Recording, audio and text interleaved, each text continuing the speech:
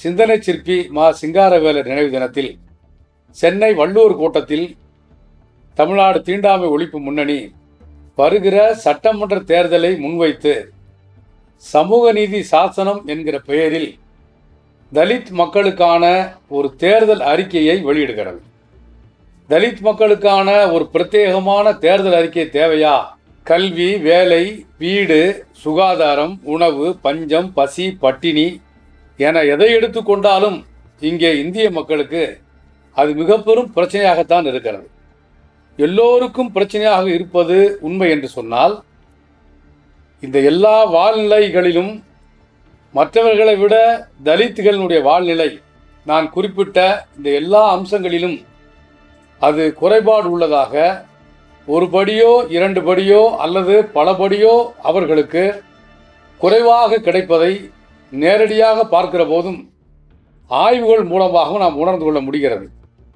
தேச விடுதலை கிடைக்கிற போது நமக்கு கிடைத்திருக்கிற அரசியல் விடுதலை அரசியல் உரிமை சமூக உரிமையை பொருளாதார உரிமையை மீட்டு தர வேண்டும் என்று அன்றைக்கு எதிர்பார்த்தார்கள். ஆனால் இன்றைக்கு பொருளாதார உரிமை சமூக உரிமை மட்டுமல்ல அரசியல் உரிமையே பறிபோய் கொண்டிருப்பதை நாம் பார்க்கிறோம்.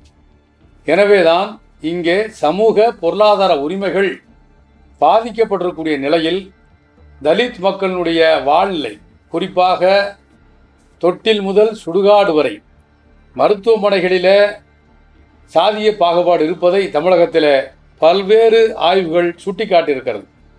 மயானங்களில் இந் தமிழ்நாட்டில் இன்றைக்கும் கூட மயானம் இல்லாத கிராமங்கள் மயானம் இல்லாத பல்வேறு குடியிருப்புகளை பார்க்க முடிகிறது. நான் இதை மயானத்தையும் மருத்துவமனையும் உதாரணமாக குறிப்பிடுகிறேன் என்று சொன்னால் எல்லா வாழ்நிலை விழுமியங்களிலும் கல்வி வேலை சுகாதாரம் என அனைத்திலும் பாகுபாடுகளும் பாரபட்சங்களும் இருப்பதை நாம் பார்க்கிறோம். இந்த பாகுபாடுகளை பாரபட்சங்களை களைவதற்காக வருகிற சட்டமன்ற தேர்தலில் தீண்டாமை ஒழிப்பு முன்னணியின் சமூக நிதி சாசனம் தலித் மக்களுடைய உரிமைகளை தேர்தல் களத்திலே ஓங்கி உரத்து முழங்கும் எதிர்வரக்கூடிய காலத்தில் அமைகிற அரசு தீண்டாமை ஒழிப்பு முன்னணியின் சமூக நீதி சாசனத்தை ஒரு உரைகல்லாக பயன்படுத்தி கொண்டு அவர்கள் தங்கள் கையிலே கிடைத்திருக்கிற ஆட்சி அதிகாரத்தின் மூலமாக ஒடுக்கப்பட்ட மக்களின் பாடுகளை துயரங்களை கண்ணீரை துடைப்பதற்கு ஒரு ஆயுதமாக தீண்டாமை ஒழிப்பு முன்னணியின்